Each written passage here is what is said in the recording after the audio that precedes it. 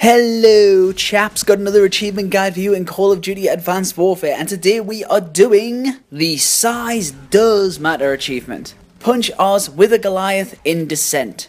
In the new DLC, the Goliath is one of the orbital drops. I did this achievement on round 19 after defeating Oz the first time when he was in the windows with the shields, and this is how I did it.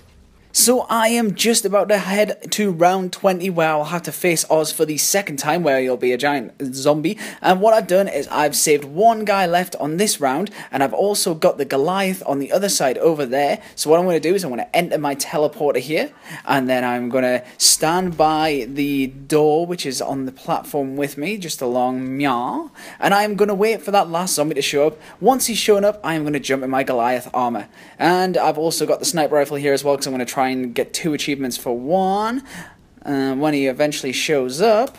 Okay, so now what I'm going to do is I'm going to wait for Oz to begin his little countdown to let me know that it is the round indeed, and then I'm going to jump inside the Goliath armor. Then once there, I'm going to use the melee button, which I believe is the right toggle stick. You know what it is, you know how to melee. And then we're going to go to the little place and we are going to punch him in his face. So you can see Oz has began his countdown, so I am going to capture this Goliath armor before I am teleported to his evil little lair.